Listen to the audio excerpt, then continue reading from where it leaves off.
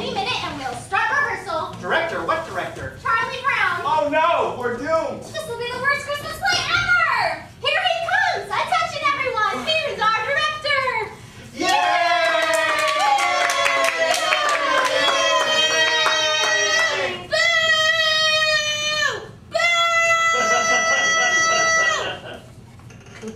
Man's best friend. well, it's good seeing you all here. As you know, we're going to put on the Christmas play. Due to the shortage of time, we'll get right down to work. One of the first things to ensure a good performance is strict attention to the director. I'll keep my directions simple. If I point to the right, it means focus attention stage right. If I make a slashing motion across my throat, it means cut the scene short. If I make a revolving motion with my hand, it means pick up the tempo. If I spread my hands apart, it means slow down. It's the spirit of the actor that counts, the interest they show in their director. Am I right? I said, am I right? Stop the music! All right now, we're going to do this play we're going to do it right. Lucy, get those costumes and scripts and pass them out. Now the script girl will be handing out their parts. Linus, you've got to get rid of that stupid blanket. And here, memorize these lines. I can't memorize this. This is ridiculous. Memorize it and be ready to recite when your cue comes. I can't memorize something like this so quickly. Why should I go through such agony? Give me one good reason why I should memorize that. I'll give you five good reasons. One, two, three, four, five. Those are good reasons. Christmas is not only getting too commercial, it's getting too dangerous. And get rid of that stupid blanket. What's a Christmas shepherd gonna look like holding a stupid blanket like that? Well, this is one Christmas shepherd who's going to keep his trusty blanket with him. You wouldn't hit Mrs. Shepherd now, would you? Sally, come here. What do you want her for? She's gonna be your wife. Good grief! Isn't he just the cutest? Mm. Oh, he has the nicest sense of humor. Snoopy, you'll have to be most of the animals in the play. Can you be a cow? How about a horse? How about a camel? Very funny. How about a penguin? Yes, he's even a good penguin.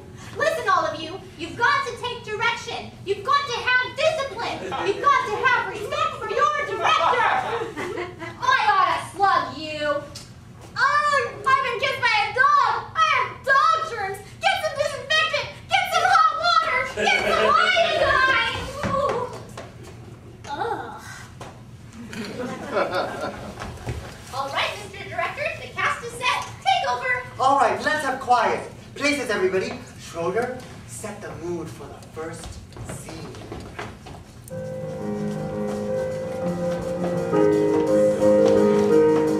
Cut, cut, no, no, no. There's no time for foolishness. We've got to get on with our play.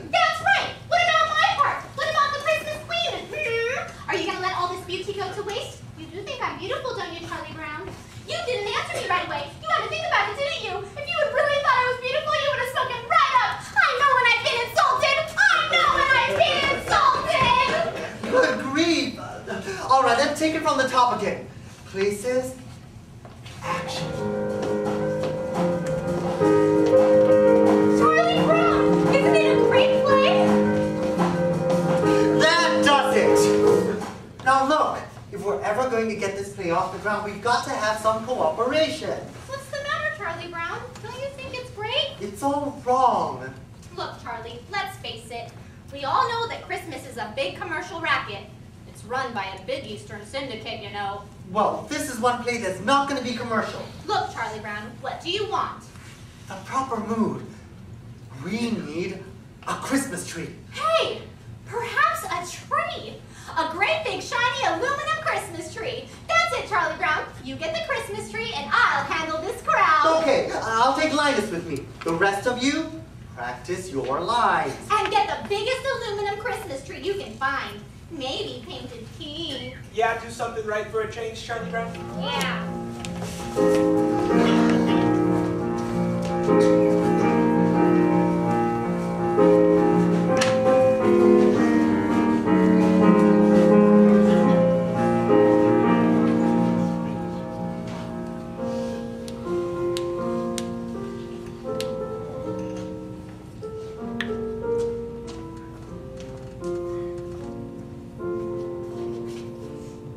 Know, Linus. I just don't know. Well, I guess we better concentrate on finding a nice Christmas tree. All these aluminum Christmas trees, complete with color wheels, really bring Christmas close to a person. Fantastic. Gee, I wonder if they still make wooden Christmas trees.